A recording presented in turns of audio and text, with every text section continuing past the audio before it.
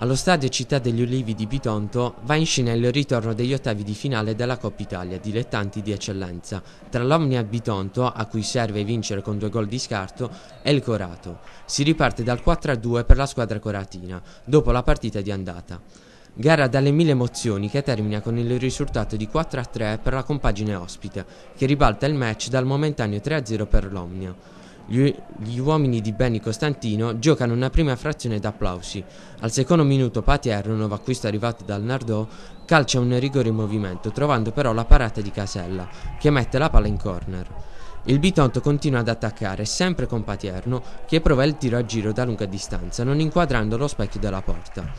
Al trentesimo minuto arriva il gol dell'Omnia su calcio di punizione dalla sinistra con Turitto che sfrutta la, una mischia in area di rigore siglando la rete del vantaggio.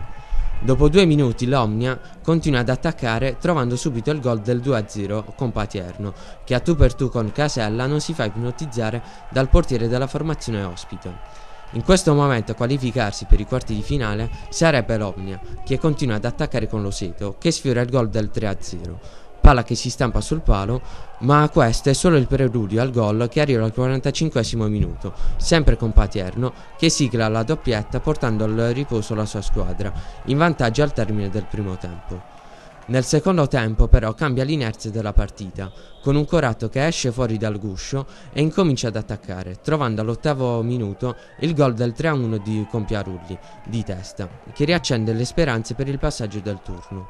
Il Bitonto sparisce dal campo, lasciando al Corato che continua a presentarsi davanti alla porta presieduta da Lizzano, trovando al ventinovesimo minuto della ripresa il gol con diritto. Grazie a questo gol, adesso il Corato a qualificarsi per i quarti di finale. L'Omnia, psicologicamente col morale sotto i tacchi, permette al Corato di realizzare la rete del pareggio, sempre con diritto, che sfrutta le lacune della difesa bitontina per infilare in porta la palla del 3 a 3.